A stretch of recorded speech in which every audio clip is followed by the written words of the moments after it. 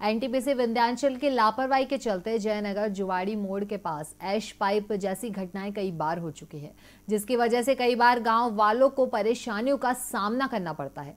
स्थानीय पार्षद और आमजन कई बार जर्जर ऐश पाइप लाइन की शिकायत एनटीपीसी प्रबंधक से कर चुके हैं, मगर कोई सुनवाई नहीं होती है। सिंगरौली ज़िले के एनटीपीसी विंध्याचल का ऐश पाइप जयनगर जुआड़ी मोड़ के पास फटने से सड़कों पर राख और मलबा बहने लगा है। पहले भी वार्ड 36 के पार्षद प्रेम सागर मिश्रा ने एनटीपीसी विंध्याचल के प्रबंधन को पत्र देकर अवगत कराया था और कई बार अनुरोध किया था कि राख के पाइप के ऊपर हाईटेंशन लाइट गई हुई है, जो अत्यधिक खतरनाक है। इसलिए इस पाइप का मेंटेनेंस कराएँ, हम लोगों के साथ अत्याचार न करें।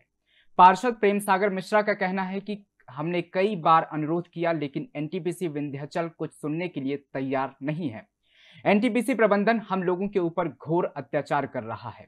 जुआड़ी जयनगर गाँव के आसपास ऐश पाइप वो बार बार फट जाती है और इसका राख गाँव में उड़कर जाता है। लेकिन एनटीपीसी विंध्याचल प्रबंधन इसकी कोई सुध नहीं ले रहा। राख भी साफ़ नहीं कराया जाता। एनटीपीसी विंध्याचल की राख से आसपास के ग्रामीण परेशान हो रहे हैं।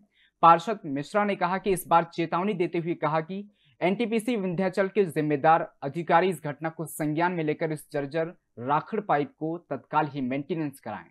देखिए, मैं आपके माध्यम से कहना चाहूँगा कि एनटीपीसी प्रबंधन को एक बार नहीं, दो बार नहीं, तीन बार नहीं, कईयों बार हमने आवेदन दिया जा करके निवेदन किया कि हमारे यहाँ की जनता पे इस तरह का प्रहार मत करिए। दूषित वातावरण यहाँ का मत करिए। रोज पाइप फट रही है ऊपर में देखिए बत्तीस हज़ार के का तार है। ये कभी भी टूट के गिरेगा कोई भी घटना दुर्घटना हो सकती है लेकिन कोई सूद लेने वाले एनटीपीसी के अधिकारी नहीं है।